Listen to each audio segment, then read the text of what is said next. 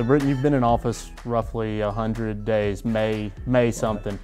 So I'm sure the days, some days are shorter than others and some days are longer than others, but what are you most proud of so far? Well, I think what I've been most pleased about is we have a council that is engaged. One of the things that we did on day one was we put a 100 day plan in place. And when you have a council that is has a goals to work toward, you have an administration that is supporting that, then what happens is we're able, we from day one, we started hitting the ground running. We didn't spend three, the first 100 days talking about what are we going to do? What should we do?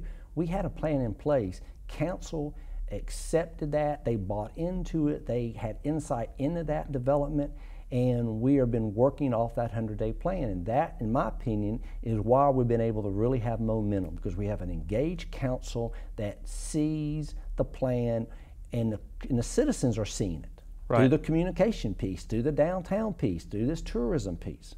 You know, Rolling Stone gains moss, right? I mean, yeah. you, you obviously one new person in, in the mayor's seat. We've got a couple new council members, some folks that have been on for, for a long time. But if they get excited, the city administration gets excited, the the employees get excited, and yes. then in turn the citizens benefit. So we talked about tourism, we talked about your first hundred days, we talked about kind of what your vision is and, and the council's vision buying into that. What can the citizens do, the citizens of North Augusta do to help you help them? That's a really good question. I think what can, they can do to help themselves is literally if once a month, if they put on their calendar check the city's website and the city's Facebook page. Okay. And listen, I didn't do Facebook before I started running. So you do not have to have a Facebook post to be able to go on the city's Facebook page. Okay. It's public. But go to those two sites. And the third thing you can do is if you go to www.northaugusta.net forward slash mayor that will have the videos I'm doing, that will have the information about the public power hour so you can track what citizens are telling us they want their help with. And also it tracks the Meet the Mayor meetings so you'll know what neighborhood we're out there to visit with people.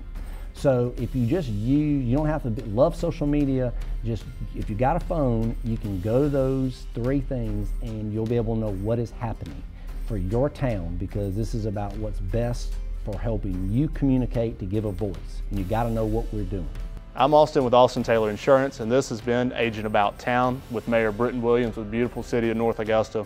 I hope you've uh, enjoyed what we've done today in our conversations with uh, Mayor Briton, and stay tuned for next time on our social media channels. Follow northaugusta.net so you can get the communication pieces from uh, Briton.